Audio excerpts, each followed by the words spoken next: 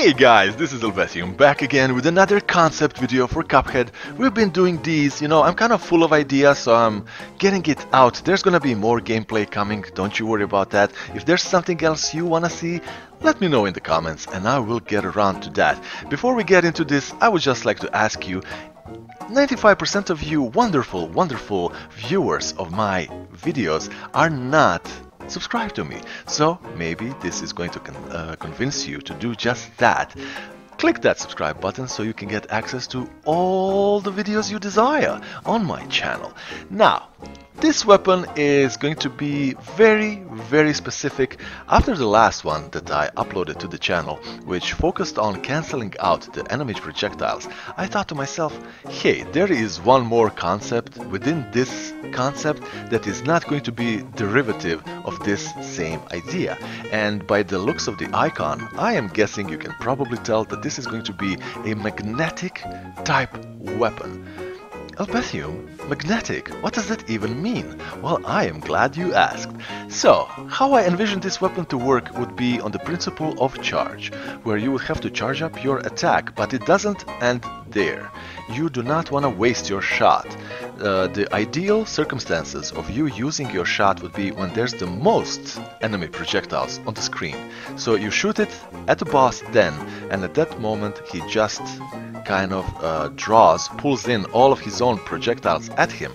But uh, the thing is here, there would need to be some sort of balancing in place because we don't know numeric values you know of the boss attacks because every every attack that hits you takes just one HP off while your own attacks that you direct at bosses all of them have different numeric values. So there will have to be some balancing done here.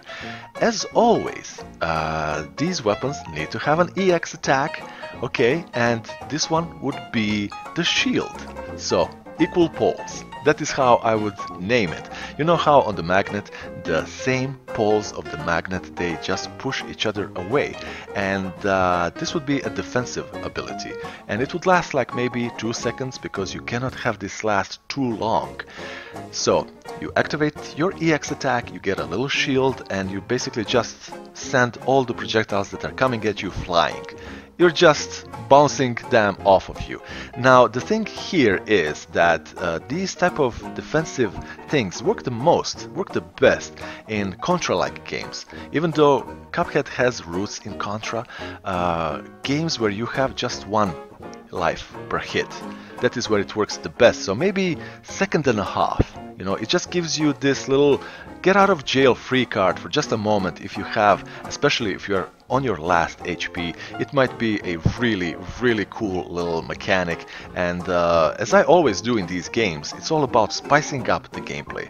It's all about complementary to all the other existing things in the game just to spice up the gameplay because a lot of times we just get into boss fights, you have your mind set on crack shot, for example, and you just don't change it. This would make it so that you are always kind of switching things up. You need to think, you need to pay attention. Not that you don't have to think or pay attention, in the game as it is, but this would just bring another layer to it, to an already fantastic game. Guys, this is Elbethium once again. Check out maybe my other concepts that are on the channel already if you enjoy this sort of stuff, and well, I will see you in the next one.